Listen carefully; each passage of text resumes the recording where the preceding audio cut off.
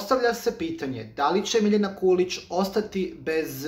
svog partnera. Marija Kulić, koja se uključila u reality program Zadruga 7 Elita, otkrila je Miljani Kulić da Darija navodno pričao je Urošu da nakon reality programa ide u inostranstvo. Da li to znači da on neće više biti sa Miljanom, to je sada pod znakom pitanja i vodi se debata o tome na društvenim mrežama. Međutim, kako to obično biva kada je Miljana Kulić u pitanju, komentari su šarenoliki. Neki kažu, e tako joj treba, nije trebala biti sa Darijanem, zna šta on hoće od nje, dok ima i oni komentara koji komentarišu Darijan voli Miljanu, želi da bude sa njom, baš su divan par, raznoraznih je komentara. Međutim, da li će zaista scenariju da bude takav, da kada se reality program završi, da će Darijan da ode u inostranstvo i da ostavi Miljanu Kulić ili će možda ući u novu sezonu, pa mu treba miksti za to, Komentara povodom toga je zaista raznoraznih, ali mi uvijek vjerujemo da neko je prišao nekome sa iskrenom namjerom, pa ćemo vjerovati da je Darijan prišao Miljani jer ima emocije dok se ne dokaže suprotno i vrijeme je najbolji pokazatelj da li je neko iskren ili ne